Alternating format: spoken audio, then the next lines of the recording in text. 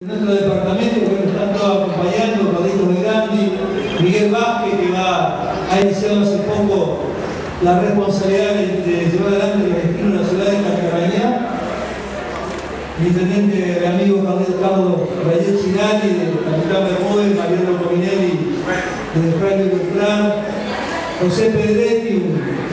uno de los más también antiguos intendentes, más allá de su juventud, de la ciudad de Rotana, los presidentes comunales María Laura Mossi de a la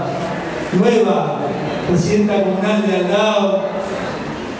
este, bueno, la presidenta del Consejo Delante de Fray Beltrán, perdón, de, sí, Fray Beltrán de Capitán Bermud,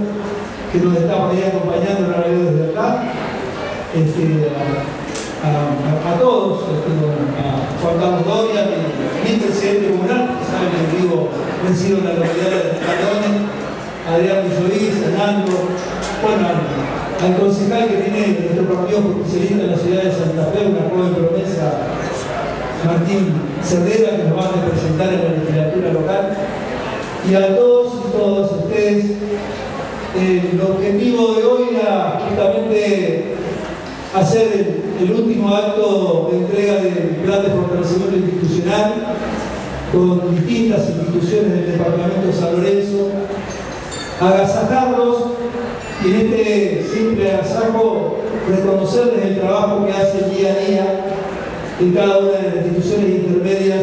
que ustedes representan. Siempre digo que para nosotros, cuando digo nosotros, digo los, las presidentas comunales, los intendentes, los, eh, concejales, para nuestra, mi compañera de fórmula, este, la, la concejal Grazano, es un orgullo pertenecer a un departamento que es el departamento que más instituciones intermedias tiene en la provincia de Santa Fe.